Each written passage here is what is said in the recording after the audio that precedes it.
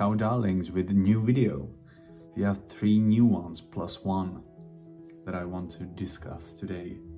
The first of all is to defend pure perfume version because I have six years of experience wearing the regular EDT.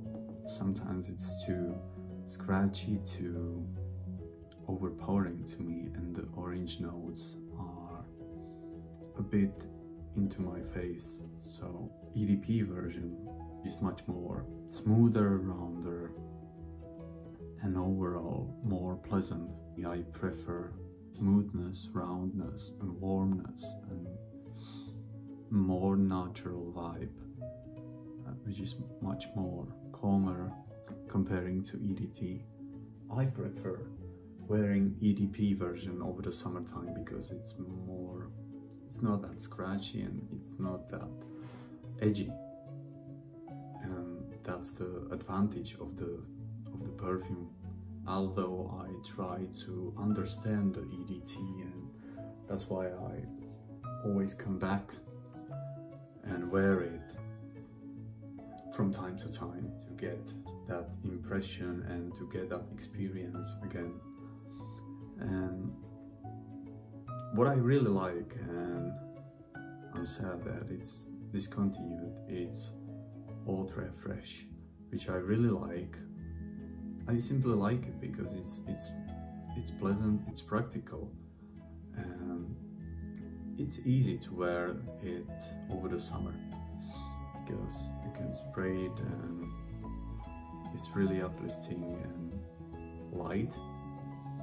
It doesn't have that soilness and earthiness and greenness which the original EDT has.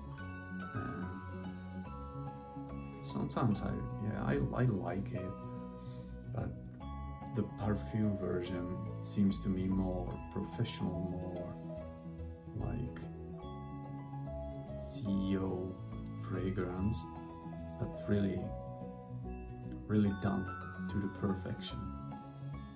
That's why I prefer the EDP. I still I still prefer the Ultra Fresh over the Eau Givrée because Eau Givrée is is very similar to Eau de Pamplemousse Rose, which is here.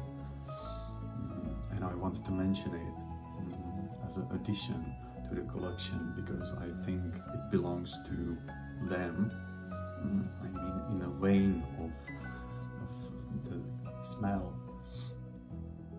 But good thing about all Pamplemousse Rose is the predecessor of the Eau Givrée and Eau Givrée is simply made by Christine Nagel as a as a copy of Jean-Claude Ellena's work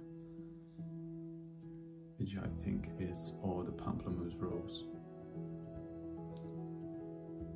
it. So